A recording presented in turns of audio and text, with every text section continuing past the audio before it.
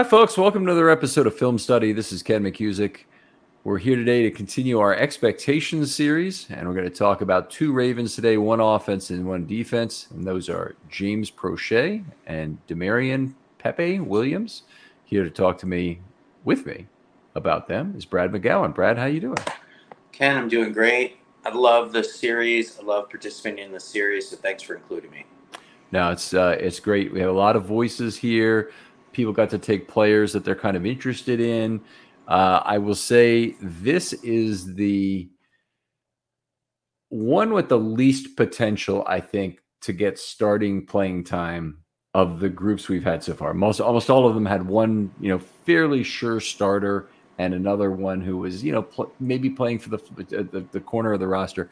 Proche and Williams are a couple players who are you know a little bit more difficulty in terms of exactly where they are uh, relative to the Ravens this year. So let's talk about James Proche first, if that's okay.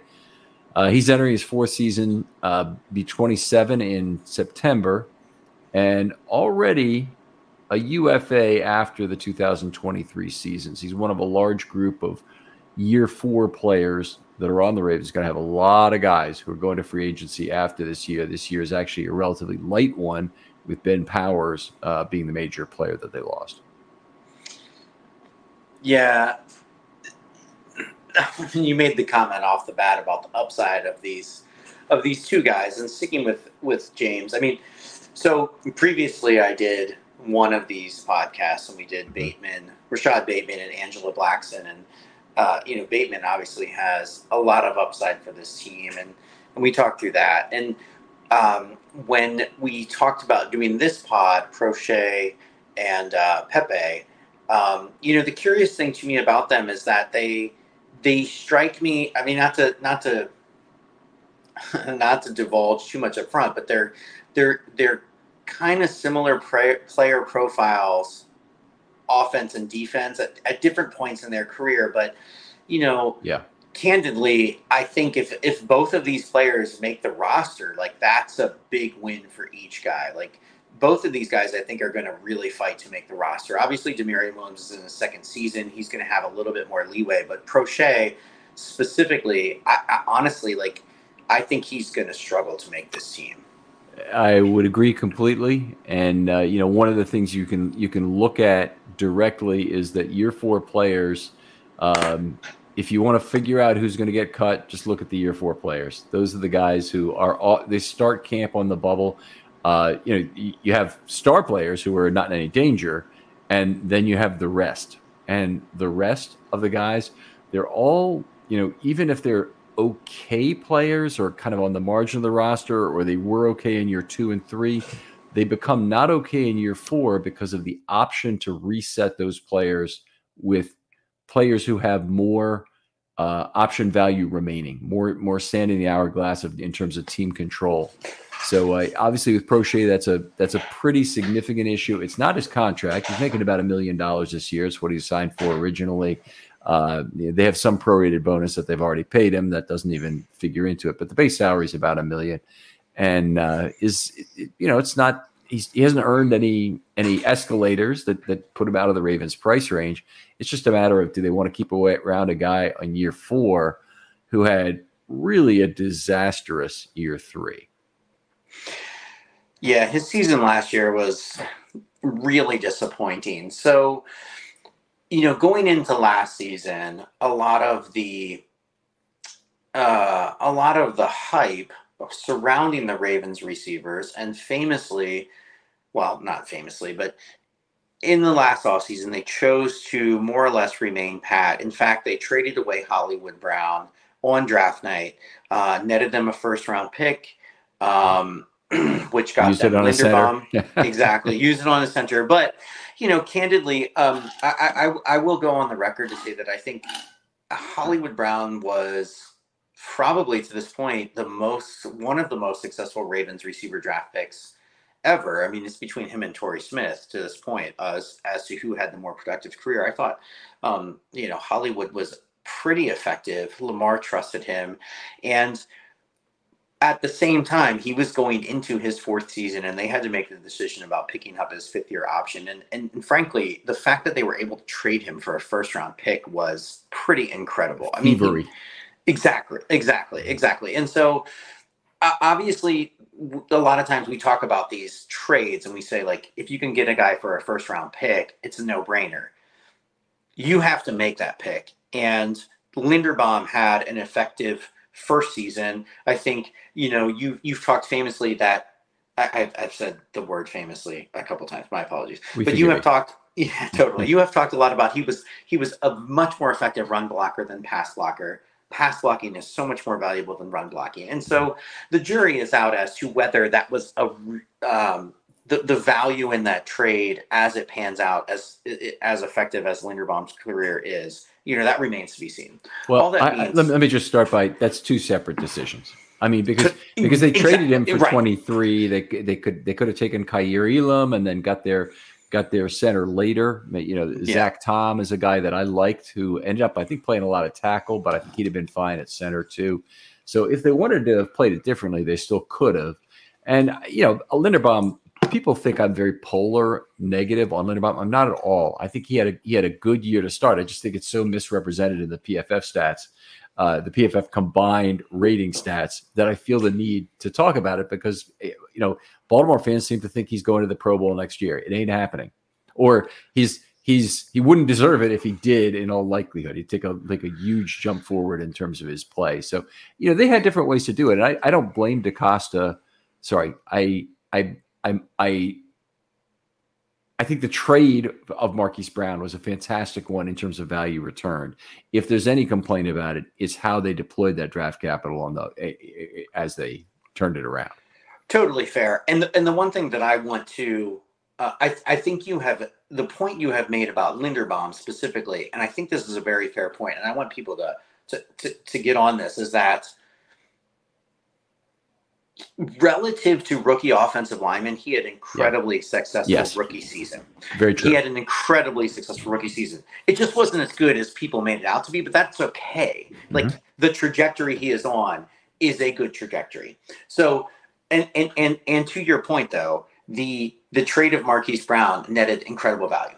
So going back to Proche, why we went down this path in the first place, why I brought this up is going into last season, the Ravens decided that they were going to stand pat. They added Demarcus Robinson late in camp as uh, one of their uh, low dollar value uh, mm-hmm. veterans to bring in, but they they stood pat with Bateman. Uh, decidedly was going to be the number one. They had um, Duvernay and Proche coming into their third seasons. They had added Keith Williams and Tee Martin in the offseason to coach those guys up. And, and so the hope was that between what they invested in in the draft previously and the coaching that they would have enough in the receiving corps to get by. And boy, was it not enough last mm-hmm. season. It was an incredibly disappointing season. So this year, so uh, we had previously done the um, the Bateman podcast and the, and the prep mm-hmm. for going into the season. He had a fantastic start of the season. He got hurt in that third game against Buffalo, and then, you know, was out two games, limped through two games, and then was put on the shelf. Mm-hmm. I, I, was listening. I was listening to a conversation um, uh, by the Sharp Football guys today, talking about the Ravens' pass game, sans Lamar, over the last two seasons, and why I think this is really relevant in the conversation with Proche is that after Bateman goes down, you know, Proche had a chance to step up. Um, you know, I he, he had a couple decent games in 2021. He had a good game against Denver uh, in the middle of the season where he had I don't know seven or eight catches or so and and and 70 yards, and then he had a good game late in the season. And so, like the the projection was going up going into last season for him, but when Bateman went down, they really needed someone to step up, and he was nowhere to be found. And you know, I, I, was looking, I was listening to some of these numbers of the passing offense without Lamar, and last year down the stretch there were some guys injured, but you know, Bate, uh, Proche had a chance to impact that. But these passing numbers down the stretch, the offense without Lamar was abysmal. Um, and they averaged 5.3 yards each of the last play. two years. Exactly. Like this is the last two seasons. And so I just, you know, there's there's I think the biggest question facing the passing offense going into this season is how does the Monken scheme impact everyone's ability in the offense writ large? But I just and and, and perhaps Proche is a gentleman who could benefit from that, but he's not put it on tape.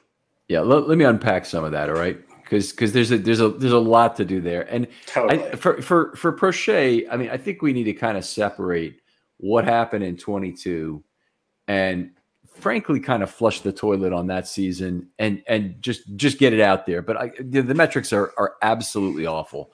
But so is the focus on the field. Really had a lot of trouble hanging with the football keeping his feet in the right place including not out of bounds uh, but the, the, the, the, metrics are terrible. Yards per reception uh, were lousy 0.47 yards per out run, caught eight of 17 balls, 56.5 passer rating throwing to him. Of that, 39.6 came from the fact that he didn't have any interceptions thrown to him. So almost nothing else from from from any other contributions. And the all the all time killer is 3.6 yards per target. But here is the other factor here that if you look at 2021, it was only 20, I think it was 20 targets he had. Might I might be slightly wrong. No, it's 20 targets for 202 yards, 10.1 yards per target, and an 80% catch rate. Now, it, those two numbers, they don't belong on the same permanent record of any receiver on consecutive seasons unless maybe some sort of injury is involved. And and that wasn't the case with Proche, at least to the degree I know. He might have been he might have missed a game for a minor injury at, at, at some point. But with him, it was a lot of just skittishness, um, you know, lack of focus, not really having his head in the game, frankly, a lot of the time. But the the uh, the 10.1 yards per target from 2021 would be the reason why it's not maybe completely time to give up on the guy. Yeah, I, I guess that's fair. However, if I, am looking at his 21 numbers, so he has 16 receptions on 20 targets. Mm-hmm. In the Denver game, that was early in the season. They got a W. Lamar played that game, and he had five catches, and I think that's the one where he had 70 something yards. And then they they play that game in Cincinnati where both Lamar and I think Huntley were hurt I can't remember if Huntley was hurt this. I know Huntley was hurt the second Cincinnati game this past year in 22. I don't remember in 21. I think that was the game that Burrow threw for almost 500 yards. But in that game, he has seven catches in that game. So he's got 12 catches between two games in a season where he had 16 receptions overall. And one of those games was a clear throwaway. And so while I appreciate the yards per target in the 21 season, I, I, I, mean, that last game was mostly a preseason game. Like, I, I just, I Wait, mean, the, the week 16 sample. game you're talking about? It was the uh, Cincinnati game where they, where Burrow f- famously wanted to throw for as many yards as possible because I think Wink had made the comment prior uh, when asking about how are they going to game plan against Burrow, given that they had just game plan well against Aaron Rodgers, and he made a comment that they're not fitting Joe Burrow for a gold jacket yet, and Burrow um, stayed in that game very late and ended up throwing for over 500 yards. I'll have to look up the number. Well, I mean, fair enough, but but uh, you know, he, I, I don't, I wouldn't. I wouldn't put away this as a, as an exhibition game in Week 16. I mean, the, the Ravens were still playing for their playoff lives in that game, and it, it, it was the one ugly game they had, I think, down the stretch, right? So correct, they, had correct. a lot of close games, most of them losses, maybe all of them losses. Um, and they uh, uh, that Cincinnati game was the one time they got really badly blown out. Correct. And I, I, I just I, I, wouldn't put that in an exhibition category. It's a very important game, and it's one of Proche's best. I wouldn't I wouldn't toss it out that way.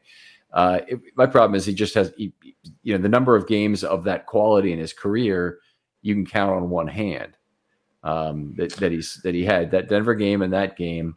But you know, the record is what the record is. I don't think it's reasonable to take away any part of his record any more than it than it's reasonable to start taking out the, the the targets that were not quite perfect for him to make plays on in 2022 and pretend like that was that's something that should have increased his numbers slightly. slightly. I just I, I think you take the record as is. I, yeah, we understand sample size. Both of us, we both work with data. Yeah. Yeah. So, so it's it's fair to say, you know, that may not be a reasonable reflection of who he is at 10.1 yards per target. I just say 10.1 and 3.6. The truth is probably somewhere in between. In this case, I'm I'm almost I'm almost 100% sure that's the case. You know, if he had yeah, go ahead. Yeah, uh, that's that's a that's a fair point. Uh, You made it. You make a fair point. I mean, it was a it was a game down the stretch in the regular season. Um, I think I think my point is more so that it got a, it, it got out of hand pretty quickly. Um, Josh Johnson started that game for Baltimore. Um, it was going to be a tough game all the way around, and that's you know outside of that other Denver game, that's the only time he's really shown any sort of upside that I think to your point. I mean, if we throw out the 22 season, um, that's his. The, those are the two. Those are the two biggest upside games that he has had.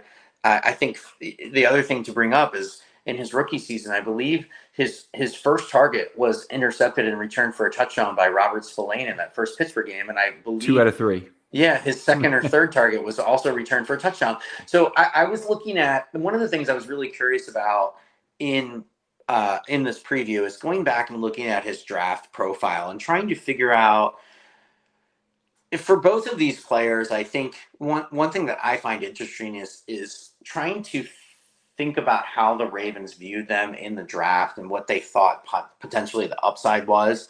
And so I tried to the extent that I could go back and look at the draft profile of both Pepe and um, and James Proche to see what um, you know how they how what they were rated coming in because both of them are a little bit physically limited. And the, and, and it's interesting if you go back and look at Proche's draft profile, it talks about how when the ball is launched, he's an alpha with ball tracking, body control, and razor sharp focus, which makes him a favorite in contested catch battles downfield. And so basically, like sharp focus. Right, which is literally the opposite of the observation you made about him last Mm-hmm. year.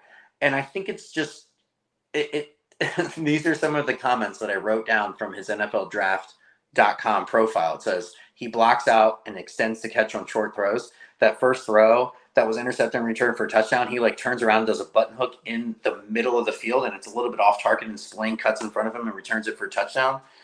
Uh, very good win rate on contested catches. And it says this is this is this is from the NFL.com profile. Preposterous ball skills and instincts. And I, I'm not a professional scout. I, I I- I just when I watch him, I just this is I, I get the exact.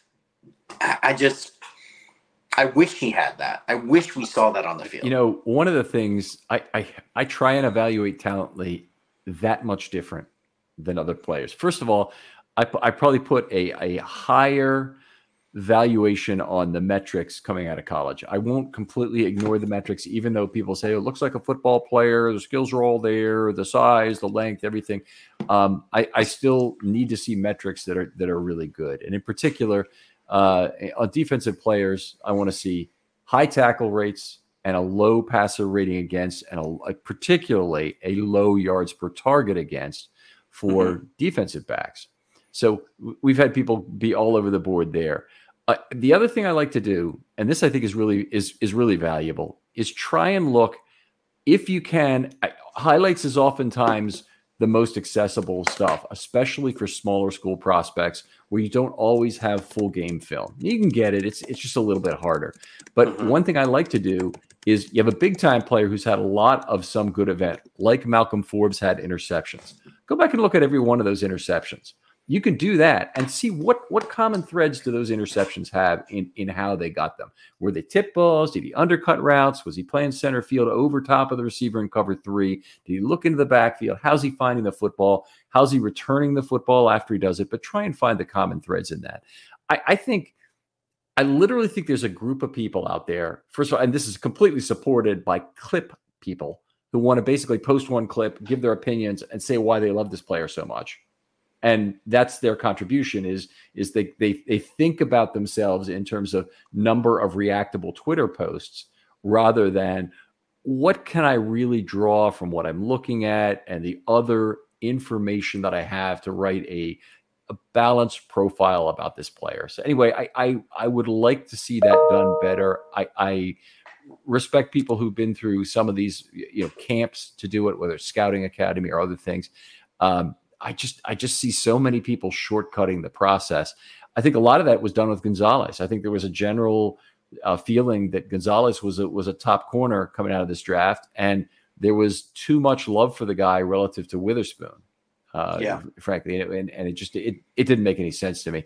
And honestly, I, I I allowed myself to get caught up in that a little bit because Malcolm Forbes and his Malcolm Forbes, Emmanuel Forbes and his size was a little bit you know a little bit small, uh, but he, he he was a guy who uh, has so much else going on that and and Gonzalez had given up a high yards per target number that you got to somehow at some point just subvert your own willingness to make subjective judgments about a player based on a few play and look at the whole series of plays. Because you know what you can't find, and this is true of Proche too. Nobody is going to set you up a reel with every one of James Proche's receiving screw ups, not not his drops, not his. I mean, that doesn't exist.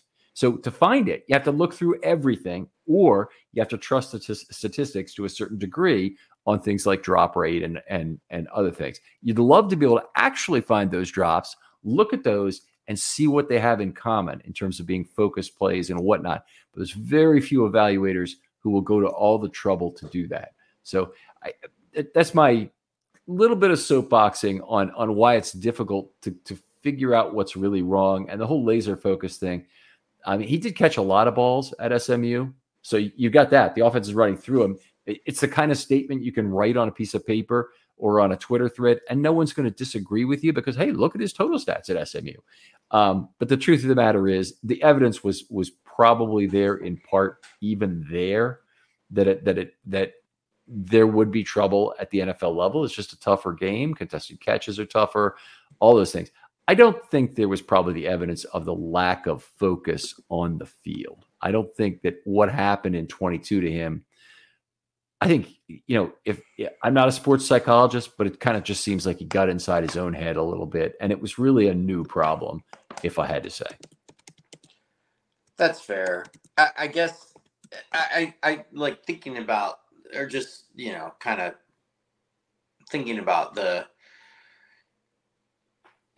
how how how the, the rant you had about I don't want to call it a rant, but but what you what you described about evaluators on the internet and and just I mean even NFL.com evaluators. I think that's very fair. I guess the thing that I was thinking about as it relates to both these players is what is it about them that the Ravens staff, the scouting staff, which you know the, the Ravens mm-hmm. do draft very well. What was the thing that really, um, you know, they really liked about Proche specifically, since we're talking about him right now? What was the thing that made them you know think that this was a guy worth investing. Now, I, I, I will say I don't I don't think I, I, was trying I was racking my brain. I didn't have time to research this, but I don't think the Ravens have really had a late round wide receiver later than third round that was even that that was very productive at all. Um, you know, I don't. I mean, I think like I mean, they, they, unfortunately, they haven't really drafted wide receivers all that well in general. But but you know, past the third round, I don't think many of those guys have really performed well. So that doesn't mean that they shouldn't draft those guys. Obviously, you need to take swings where you can, and you should. And especially in the later rounds, you're just looking for guys that have upside. And you know, one of the things that we tend to do in the draft is we'll see a guy and we'll say this guy this guy reminds us of this other former player who famously made it out and and did very well. And that's a an interesting way to evaluate, and it's not most scientific, but I'm interested in your thoughts about that because I had one guy. Let me respond to that really quickly yeah. because they've they've had three guys who've gone on to have good career that he drafted in the fourth round or later. Brandon Stokley, I wouldn't include Demetrius Williams in the group, even though he played a little bit uh, for the Ravens. Jermaine Lewis certainly had a terrific career with the with the Ravens for you know various ways. He's he's a great example of a great draft pick because all his value is pretty much on his rookie contract.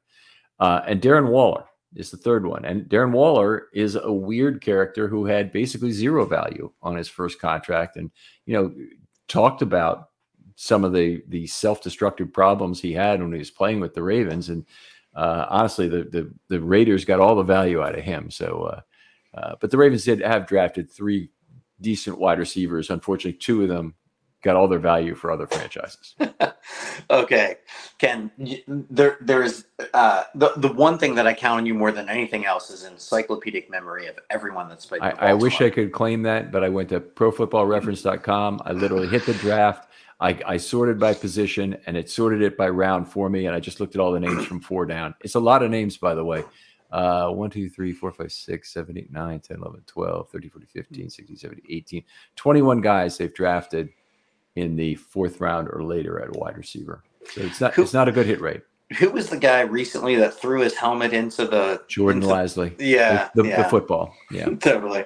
So I, I, going back to Proche, the the one the one name that I thought of uh, that was a late round pick as a comparable athletic comp. This is this is an awful comparison, mm-hmm. but Antonio Brown was a sixth round pick out of Mich- Central Michigan, and it, it, it, I, I, was thinking, I was looking at the RAS profile for for these guys because neither of them, uh, Proche or Damarion Williams, are considered athletic specimens, and mm-hmm. both of them have pretty low RAS profiles. But Antonio Brown, like curious, uh, interestingly, has a worse RAS profile than James Proche, and you know, I indulge myself in some of his stats. I mean, off the field, Antonio Brown has his issues, but there was a stretch he was uh, unbelievably great. You don't. We don't have to even repeat. Great. Yeah, we don't have. And so, but, but here's here's know. let me let me tell you what the basic problem is with that.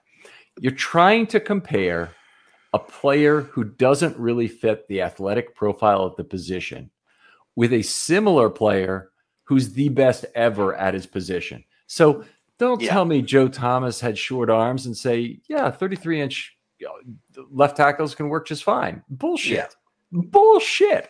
So you know, it's and, and, don't try and tell me that because somebody else had, you know, uh, you know, an unusual height weight, you know, thing at at uh, at, Marshall at edge. Yeah, Marshall Yanda is a good one. I, you know, I, I, height guys who look like wide receiver at edge I typically end up being tremendously flawed, even as situational pass rushers. And just ask Aaron Maybin if you want to want to find right, a guy who, right. who, didn't work out. It's just you know, it, it, yes, you can almost always find counter examples in the long history of football of guys. Well, what about Marshall? What about Joe Thomas? These guys were somewhat short arm, both of them. Uh, You know, it, it just stop it. You know, it's it's it's the overwhelming tide of of uh, evidence would tell you this is not the case. And you know, even even with Linderbaum, you know, I tried to show the other guys who had been comps to him, and the guys with longer arms had worked out at center, and the guys with shorter arms had not, including Garrett Bradbury, who may have turned it around, by the way, but Garrett Bradbury in in that group. And uh, you know, people then say, "Well, A is not like him because of yeah. you know." You, we talk about this, you know, mushmouthiness starts going yeah. on. That, that yeah, it's very difficult to listen to. So anyway. t- totally. And the only reason that I brought that up is I was just trying to figure out what it was they saw in his game. And, you know, again, like it, it's, it's a, he's a six round pick. It's worth taking on a, taking a flyer on a guy that was proje- uh, productive in college. But, you know, when it comes to the 2023 season, you know, uh, when the Ravens needed bodies last year, in the wide receiver corps, they signed DeSean Jackson and they signed Sammy Watkins, and both of those guys in very limited action were more productive than Pro, Proche, who was with the team all year. And so, you know, I was trying to. I know we're going to get to the point of a good and great season, and I, I was just racking my brain like, what does a good season for Proche on this team look like? Before we get there, what's what yeah. a what? I, I, turn this around now. Obviously, you know, we, both can look at Proche's 2021 se- 2022 season and say he was terrible. And I can look at 21, and I'm sure you can too, and say that was pretty good. Or you can say it's too small a sample size. But just give me your take the counter argument. What are your what can be your reasons for optimism for Proche for this season? I think my reason for optimism would be a lot of the reports that I've been I've been hearing about what Monken prioritizes in the passing game are precision, um, route running, um, some of the things that that we haven't really seen in Baltimore, as far as uh, you know, just creativity in the passing game that isn't necessarily just predicated on uh, backyard connection between great athletes, Mark Andrews and Lamar Jackson. Mm-hmm.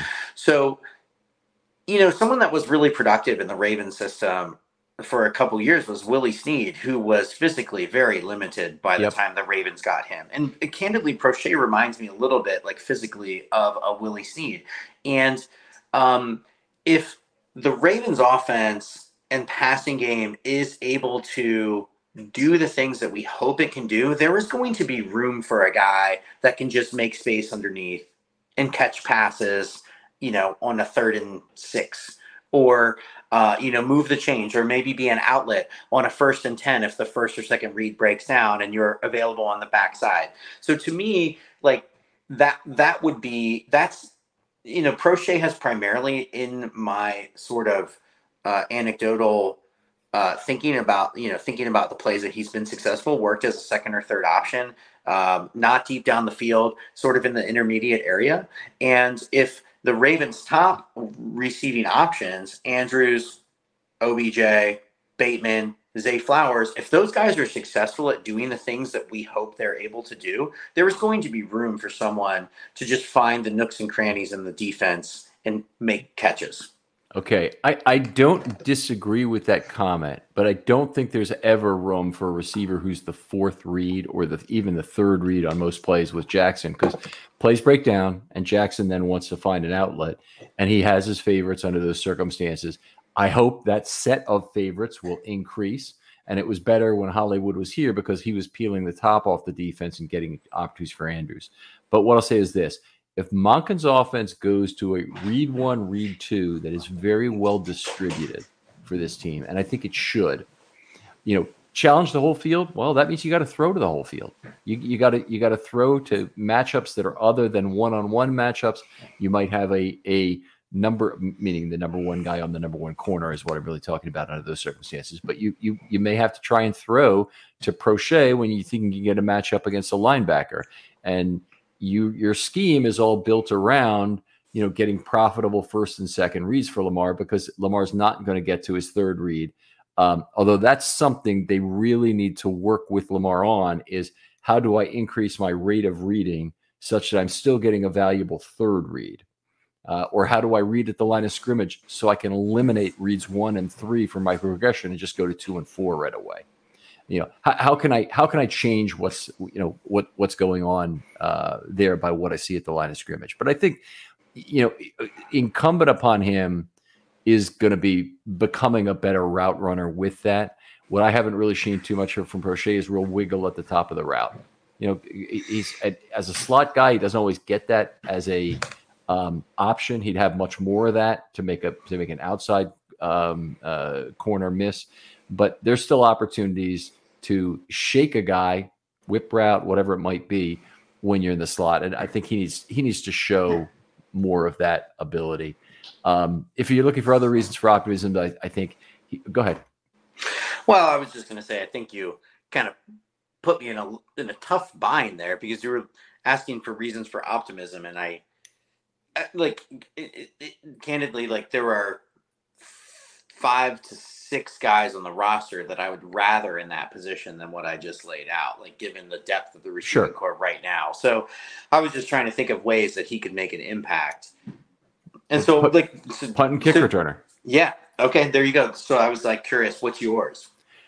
Uh, well, uh, he he's punt and kick returns that here here's the big one, and this is the one I I'm writing this up and I'm trying to think about how can I be positive about James Proche if the Ravens were to lose Duvernay, who is, I think, their primary gadget option, and the reason I say that is, is Zay Flowers is perfectly capable being the gadget guy. They, they can they can run him jet motion. They can do things with him that they did with Marquise Brown. I think in some ways that kind of wastes who he is within a Monken offense because you want to stretch the field. You want to get him more opportunities to get safeties away from Mark Andrews, get safeties away from Isaiah Likely, get safeties away from Beckham, who's you know not the kind of separator he used to be. So you you want to you want to have some opportunities to create space. Zay Flowers has got to be down the field, not running orbit motion, not running jet motion as much. So Duvernay then becomes the guy again to, to take over a lot of that roles. But if Duvernay, for whatever reason, is not available, and of course he was hurt last year, I'm looking at the team in terms of who's the next best guy to do it, and it might be James Proche in terms of of uh, who they have right now. He, he, he, seems to have some of those characteristics. I don't believe he's fumbled yet in the NFL. Not too many total touches, but uh, but that's something. And uh, you know, maybe that's a maybe that's a way he could help the team. And then. Uh, you know, I think if if I were to put one other thing, he plays on three of the four special teams units. It doesn't quite make him a core special teamer because he's not on the punt coverage unit, but he's on the other three units. And maybe that's enough between those elements. But if I were Proche and I'm coming to camp, the first thing I want to do is Monken, I'm I'm there for you in whatever way you need me. If you want a backup guy to shadow Duvernay and all of these um, uh, gadget concepts that you might normally run with him, I'm happy to do that. Uh, but you know, something of that nature is what I'd like to see from Proche because I don't think it's going to be a normal receiving route for him that is going to be profitable. Uh, that's totally fair. I would say of the guys on the roster that could be that backup gadget option, I would rather have Isabella. Okay. As that guy. I mean, he has the athletic profile of a guy that could do that more than Proche. And I, it, it, I mean, that that would be the guy that I would think would be the natural fit if we were just talking about a gadget kind of backup special teams guy. Is he is he actually still on the roster? Yes, he's still on the roster right now. There you go. Uh, he's yeah. a and and there's no difference between the two at this point. A fourth year guy, a fifth year guy. It's a you know it's a yeah. vet min salary versus a. And and candidly, when he was getting drafted, I think uh, famously in, in, high school in Ohio, he was the sprint champion over who is the uh, who is the number one cornerback in um, in Cleveland that uh, uh Hayden. Was, not, not no no no. I'm sorry. I know you mean Ward. Ward. Yeah, Ward. Uh, Denzel Ward. Uh, yeah, uh, Isabella was uh, like uh, an elite sprint athlete that beat Denzel Ward uh, in the state championship, and so like he has the athletic profile for okay. a guy like that. Great counter on that. So let's talk about a good and great season. We've gone way too long, by the way, on James Proche. So we need to speed it up a little have. bit for Pepe. But sure. uh, a good season, what is it to you? So I think a good season for him is that he demonstrates enough progress in camp uh, and in the preseason that he is a priority. That he he's likely going to get cut, and he's a priority re-signed uh, uh, uh, on, on the practice squad um, that if a guy goes down in front of him, that he can get elevated off the practice squad. He can fill in with depth. He uh, there's not a, a, whole lot of drop off if he's on the field in some of these situations, and you know he proves that he is capable of being on an NFL roster. I think that is to me a good season for him. Okay, I think that last point is different from what I have, but otherwise, I think I'm I'm in lockstep. Quality preseason keeps him in the Ravens' plans, makes the practice squad as available when needed. That could be to start the season because, hey, Bateman, we're not sure if he's going to be ready to go. So there's good, there might be another spot in the wide receiver room.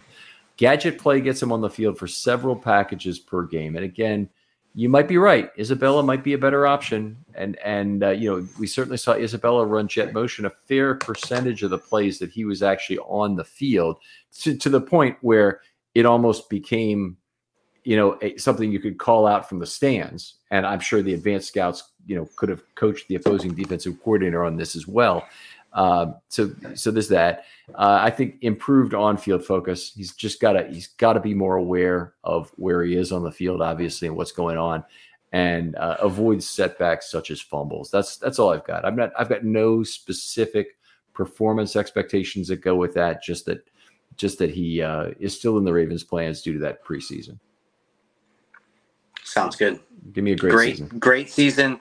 Great season is that he shows enough in camp and in the preseason that he is legitimately in the mix as the sixth wide receiver, potentially to make the team out of camp. Um, you know, Tylan Wallace probably at this point in his career offers more in special teams. So I anticipate if they keep more than what do they have five? If they keep a sixth receiver, he's probably the likely one, assuming no one gets hurt. Um, but if Proche is in that mix and he's uh, legitimately fighting for an opening day roster spot, I think that's candidly a great season for him, and all of the other things are the same.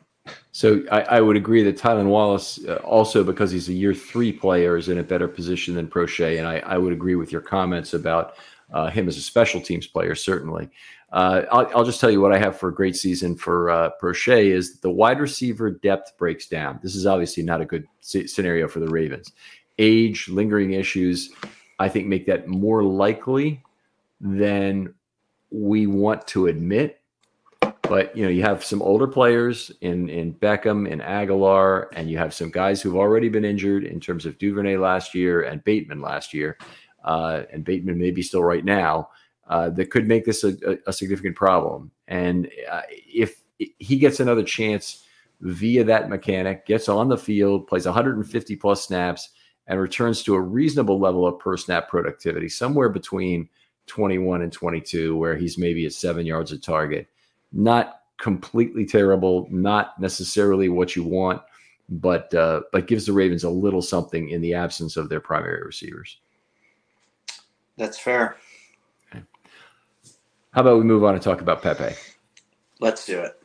All right. I hope people are going to still want to listen to this episode after after some of the negativity involved. So uh, uh, he's entering his second year, drafted in round four in 2022. Uh, DeCosta was on film, mic'd up, whatever you want to call it, uh, during the draft, and they did have a chance to trade this pick to get two picks later on. There was an offer on the table for it, if I recall correctly. Uh, Pepe had a great preseason, really had high hopes of who he might be. And one of the nice things about him was some versatility. He played some slot corner and some free safety in that preseason. Look good. And, uh, you know, one of the things I thought I saw, at least in the preseason, was that he played longer than his size, a really good reach across the body um, for a guy who had 29 inch arms or, or thereabouts. And, uh, know, obviously size is going to limit the guy in the NFL, but that's something I thought I was picking up on.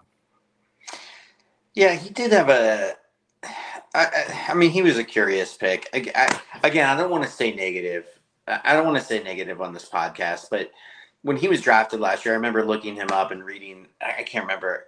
I, I don't want to get into that. I think the, the famous thing that we've well documented is Tariq Woolen was still on the board. Tariq Woolen was 6'4", ran a 4.26, mm-hmm. and he had limited experience in college. And you've talked a lot about how these aircraft carrier corners are hard to come by, and that seems like an obvious guy. You know, I mean, I just listened to your podcast that you had with Boss where you guys talked about JAD, uh-huh. and the Ravens were really high on JAD. That was the one guy they really wanted in the fourth round, and you know, it wasn't an uncommon consensus. I mean, Chris Sims, I I, I read, I, I watched his like pre-draft in 22 um, cornerback profile, and he had JAD as a top five cornerback uh, candidate uh, uh, prospect and one of the biggest sleepers in the draft. So there were people that felt JAD was going to be, uh, you know, had a lot of potential, and so they drafted a guy with a lot of physical tools. Uh, with their first fourth round pick, and they came around and they got um, Pepe later in that round, and you know he kind of profiles kind of similar to Tavon Young, um, and you know, candidly, to Darius Webb, he's a little bit uh, shorter arms, actually a lot. Okay, you're doing it again. I'm just going to say, and, and, and, that, and, that's okay. That's okay. But those guys were both great players for their size and complete outliers on any charted mapping of guys who are five nine. And that, that that's totally fair. Except yeah. for Pepe has a better RAS score than Tavon Young because I was racking my brain again, like why would they take this guy? And and and and Tavon Tavon was was was man his rookie season he came in and started on the outside and did yeoman's work. Uh, i mean he was a fourth round pick at a Rutgers. Anyways but i was just trying to figure out like what they saw in pepe. And I, I, I watched some of his highlights from last year and there were some there were some plays that he put on tape that were pretty impressive especially in that miami game um, where he I, I, there was a couple there were a couple plays where he was in the slot manned up on tyreek and had no business getting downhill to make an open field tackle where he did that and he did that well. And coming out of college that was one of the things about him was that he will get downhill and stick his nose in there. And that's the thing i mean Lardarius Webb slot corner trait no exactly. Doubt. we've yeah. talked about this. Lardarius Webb was the best cornerback in the league for that stretch where he could play in the slot and get downhill very quickly and he was exceptional well, it's actually Lardarius Webb was great playing the outside too when he was the best cornerback in the league. But you're right. I mean, he's a great he's a great slot corner later in his career, and and when in earlier his career he would play both and and alternate on a down by down basis because the Ravens didn't really have a better option at slot. But when they had four defensive backs on the field, he was back on the outside again, and that was the year he shut down Andre Johnson in the playoffs for Houston and just had, a, had an unbelievable year with a 42 passer rating. Against I mean, he he was the guy that would play Antonio Brown when he was in the slot. He was mm-hmm. the guy that would play Welker in the slot. Like he was the guy that we counted on to handle those really crafty route runner guys out of the slot. And so, you know, playing this forward to Pepe, when you look at the 2022 season, Baltimore, you know, if we step back, look, Baltimore had um, you know, I was thinking about this the other day. They had really kind of a bizarre season where the offense started on fire, mm-hmm.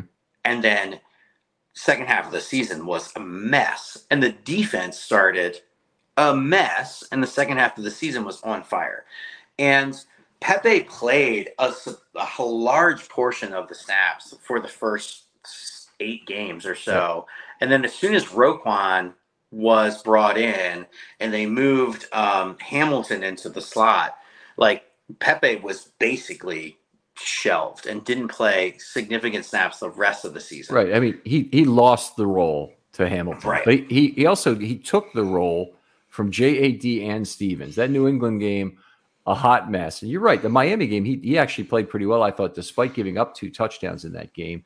Uh, you know, 10 targets for 42 yards. It wasn't like he he was awful by any stretch, but uh, but it didn't completely work out either. The next week, JAD looks completely lost in covering yeah. Parker, and then Stephens went in try and do the same thing. He couldn't get it done, and then they finally put Pepe in. And, uh, and uh, you know, I thought after that that Pepe really looked like he was going to take over the slot corner role for the rest of the year, but the Ravens found the better answer, and you know they got creative in terms of using Hamilton there and just put him in slot corner and said, we're, we're going to roll with this. And it was the right move. There's no doubt about it. And I think we, I want to, I want to move forward from here because one of the nice things about Pepe is one of the things that you know leaves the door ajar for him is that he has the slot corner characteristics. If I if I look at the guys on the roster who can do it, you have Hamilton certainly could do it. You have Humphrey who they could you know would be making a sacrifice to move him to slot, but he could do it. And you have Ar'Darius Washington and I don't think there's anybody else in the whole group who really fits the role. You know, could somebody claim that Brandon Stephens would be a legitimate corner? Well, I guess if if you know if if Hamilton with his hulking size and and limited speed can be of value to you at slot, then you could make the case why Brandon Stephens could be. But I don't think there's a good reason why instinct wise, reading the quarterback, downhill movement, the tackling ability. I don't I don't think there's another player other than um, Pepe and Ar'Darius, who is really a, a, legitimate SCB candidate. And that's some of the, what I want to talk about on the rest of this episode. But where are you? Is there is there another SCB on the Ravens current roster? So Hamilton is an outlier because his instincts are just so exceptional. Mm-hmm. Um, it, I you know, I've I've heard you talk about this a lot, and I am per, my personal opinion is that I am not entirely against moving Humphrey to the slot. I, I, I like his physicality there, and you know, I, I, heard you say this on the JAD pod about um, you know his uh, physicality at the catch point is really valuable on the mm-hmm. outside. Mm-hmm. But I am specifically thinking about the 2019 overtime win in Pittsburgh, where he um, he punches the ball out in overtime against Juju. Um, Juju, and I believe that play started in the slot. I think he was just following Juju around that game, and I could be wrong about this, but I think you know the one it, the nice thing about having him in the slot is giving him a little bit of space to then come in and bat that out. And you know the uh, uh, uh, you know again like the year the year the Rams won the Super Bowl was the year that they moved Ramsey to the star role where he was playing a lot in the slot. And you know I just think Marlon's physicality and I think the way that the modern game is played with these big receivers in the slot you know the Justin Jeffersons of the world that play primarily out of the slot and the Cooper Kupps of the world like I you know I, I'm not opposed to having our best corner be in there. Now the biggest issue is injury which we can't afford with Humphrey. And right. so to answer your question, I, frankly, I don't, I, I don't really know what they should do, and that leads me to a question I wanted to ask you: is if the Ravens can make one move to bring in an outside veteran at mm-hmm. either corner, pass rusher, or receiver, which position do you pick? Yeah, you're you're you're a little bit stepping on my material here because I wanted to wanted to frame it up differently. But I'll try and answer your question first. Let me try and answer your question first. I, I do think they've got one move coming at cornerback left. I think it's going to be a right player, right price move. So they might look, they might get an outside cornerback if that's the guy they think can provide real value to them. And I think Marcus Peters be an excellent choice. I think it is a matter of price at this point for Marcus.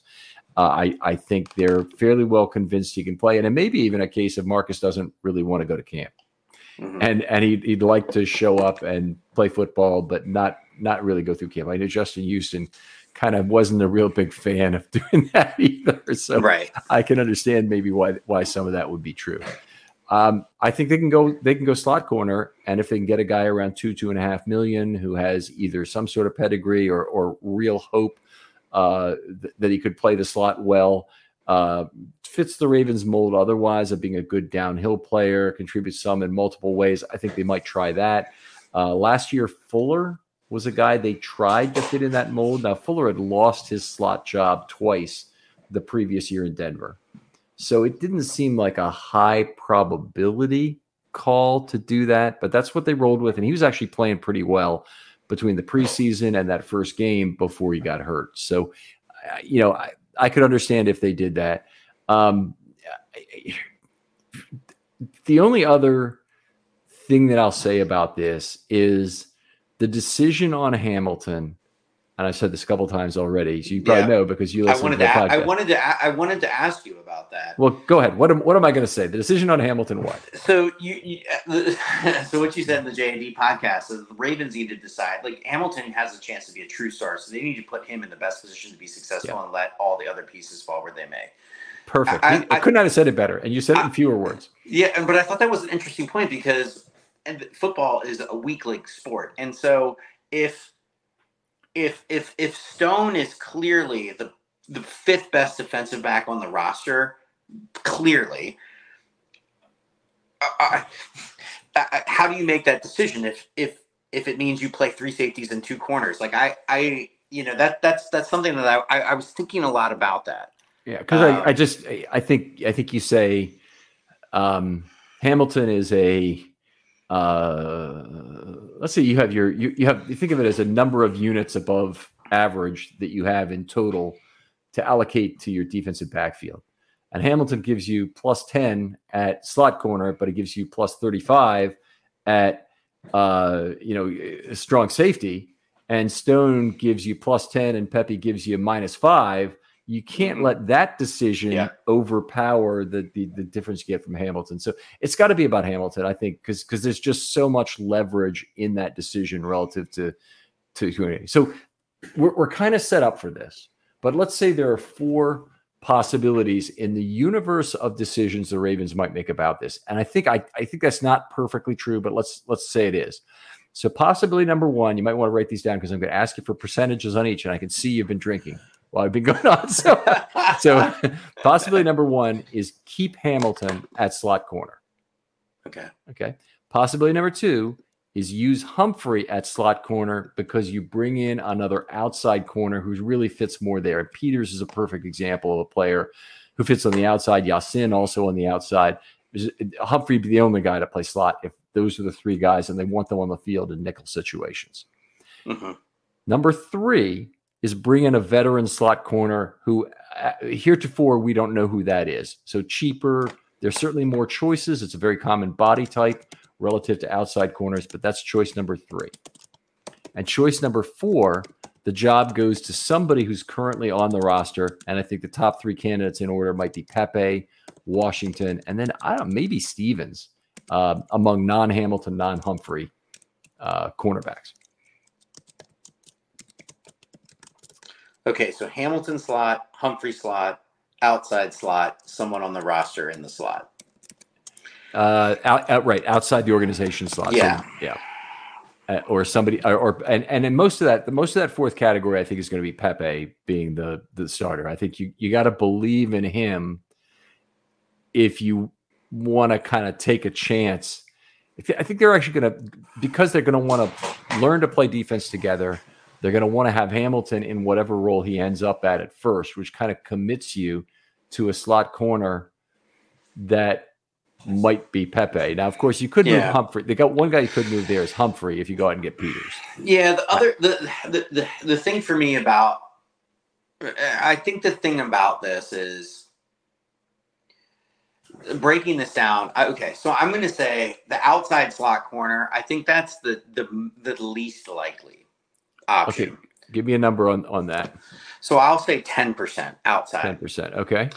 So I'll go.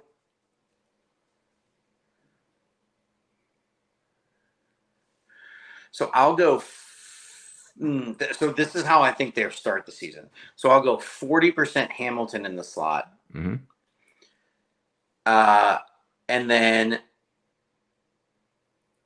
Humphrey with another big outside corner. is- yeah, is and then probably someone else on the roster. I'll go at um thirty percent. Um, and then tw- and then 20. Humphrey in the slot at 30 percent. 30 30. Oh yeah, I'm sorry. Okay. So I'll go 25 and 25 Humphrey or someone on the roster. in the 25 and 25. So okay. So Yes, I didn't I think I think Hamilton is most likely. The one interesting part about the the like the, the people on the roster is Trayvon Mullen has a guaranteed contract. So I'm really curious what they're going to do with him. fifth, fi- uh, it's, he has a gu- absolutely guaranteed contract. I'm pretty sure he signed fully guaranteed. I mean, it's not a whole lot of money, and it could just be because he's related to Lamar, but he no, I need it. to look it up because I don't believe it. Um, you are correct. It is fully guaranteed. Man, no, didn't didn't know that. So that's a that's definitely something that they would want to do. They're going to have to trade him. That means uh, if they if they can't find a roster spot for him. So that's that makes him a serious seriously significant camp uh, camp watch. Thanks for that, Brad. That's that's new information to me. Sorry, I- I, should have brought that up earlier. I'll, I'll, I'll just say you, you had 40, 25, 10, and 25. I, I'm very similar. I have 40 to keep Hamilton there. So I think that is the plurality decision here. 20, to, I'm sorry, 15 to use Humphrey uh, in the slot and get another outside corner. I think they'd rather just have three outside corners because their depth there just sucks right now. yeah, yeah. Um, bring in a vet slot cornerback, I have at 25. And so I think that's the second most likely. And then the job goes to Pepe Washington Stephens or maybe even somebody else that we don't know on the roster currently is 20. yeah. So very similar, the, the two of us. But but I did have the second most likely being the bring in the vet slot corner. Yeah, I, I don't. I just don't know what guys are out there. And Hamilton was so productive there last year. Mhm. I I understand wanting to move him back, but I mean they were they were playing really good down the stretch. Yeah, and that does allow you to play Geno Stone. So, in an all other things equal situation, I don't have a problem with that discussion. But Stone is a one year player with the Ravens. If he if he goes back and he plays strong safety exceptionally well, if he plays the back end on cover two, if he does the things he basically did with Marcus Washington, there's a chance he's the, Ravens just end up losing him anyway. If he if he stays, they keep him in a more limited role. He could become one of these rotating two-year veteran guys where he stays captain of special teams here. Um, but a player like that, you will lose him if he has another vet offer for twice the vet minimum. So a two million dollar offer takes him out of Baltimore. Um, a, a, I mean, I guess the Ravens could match that, you know, but but I think it's it's probably unlikely. I think it's probably gone. If if the offer is you know between a two and four hundred thousand dollars signing bonus, sure, he might stay with Baltimore. He might Mhm. say this is my better chance to play more years. But uh, But I, I, you know, his play going in there and playing for Marcus Williams was so good, and I get a sense you you're buying into some of that too. Yeah. That that I'm um, I would be really loath to give up on that. I just I think the decision on Hamilton has to be the the the centerpiece to this whole discussion. You got one incredibly talented player. He's he stands head and shoulders literally and and and uh, you know in, in terms of talent above the others. And the, the decision has to be made on him first. That's fair. The one roster building point about this that when I asked you the question of who you would bring in if you could only sign yeah. Uh, a player from one of the position groups. I was thinking about how in, in the 21 off season, we really kind of tried to piecemeal offensive tackle together. Stanley never came back, and the tackle situation with Villanueva on the left was, you know, submarine the team. Mm-hmm. Uh, last year, they tried to piecemeal together the wide receiver position.